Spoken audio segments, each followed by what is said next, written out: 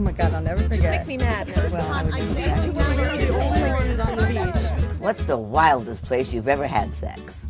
I have to ask. Do you want to answer that? Ask my girlfriend that. It's been so many places. Uh, Denmark in a train. An airplane, National park. a game park, An abandoned amusement park. Outdoors in, in a swimming pool. Stevens Institute in Hoboken, It was a carnival and we hopped the fence and made out on the tilt-a-whirl. in a hill station in India. A bathroom in a restaurant on the floor gross.